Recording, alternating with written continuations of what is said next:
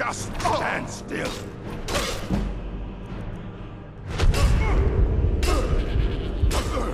Close! I'll show you what it feels.